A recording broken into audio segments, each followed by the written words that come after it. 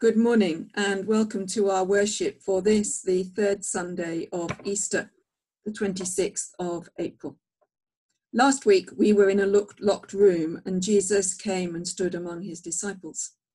This week we're on the road to Emmaus and Jesus is there walking with two of his disciples.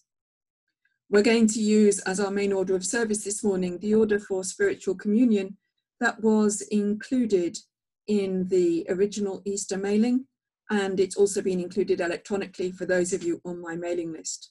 If you're not on the mailing list, then please go to wheathill.org and you will find it with the list of documents for this Sunday, the 26th of April.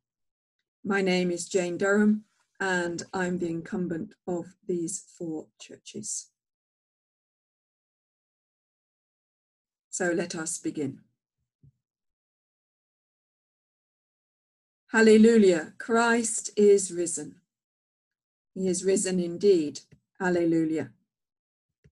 The Lord is here. His Spirit is with us. And we pray together. Almighty God, to whom all hearts are open, all desires known, and from whom no secrets are hidden, cleanse the thoughts of our hearts by the inspiration of your Holy Spirit, that we may perfectly love you and worthily magnify your holy name. Through Christ our Lord. Amen. And our first song this morning is a version of the Gloria sung by Cantor and Response.